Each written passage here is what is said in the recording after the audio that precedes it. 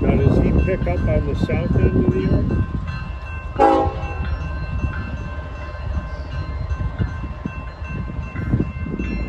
Thank you.